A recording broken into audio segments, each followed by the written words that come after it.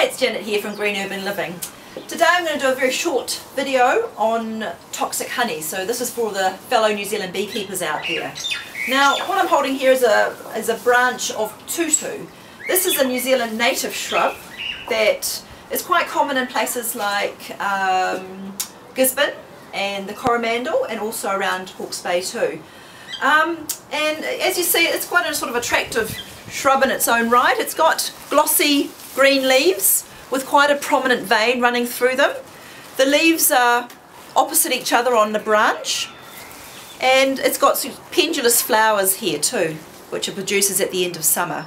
It's quite a large shrub. It grows to around sort of three to four meters high and you find it in shrubby sort of land. So um, places like roadside cuttings and re regenerating bush it's quite common to find it there. Um, I actually picked up this this branch here on the um, Napier Taupo Road where it grows you know, quite it's quite common there. Now the problem with this native bush is that firstly it's poisonous to stock so farmers will try and eradicate it from their farm. But the other thing is that um, the passion vine hopper which is a little insect with sort of lacy wings, will feed off this plant.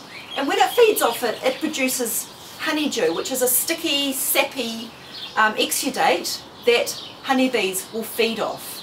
Now they're more likely to feed off this honeydew in summer when there's a, when there maybe not be enough um, other food sources around. So they'll come to the plant and they'll they'll feed off the honeydew and they'll take it back to their hive. And when they turn this honeydew into honey, it produces a toxin, a neuro, neurotoxin, which is very poisonous and even deadly to humans. Um, so the way to avoid this is to avoid eating comb honey over the months of middle of December to, to March. Um, and also if the weather's been very, very dry, there hasn't been a lot of rain, there's more chance that there's honeydew has stayed on the branches and hasn't been washed off with the rain.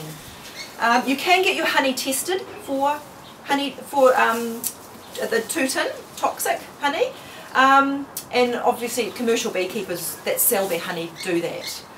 Um, so really if you live in areas like Gisborne, Hawke's Bay, the Coromandel in particular, and you live around bush areas which the tutin may be growing, really important to be aware of the toxic honey over the December to March months, so all those summer months. I'll just show you show you again a close-up of what it looks like.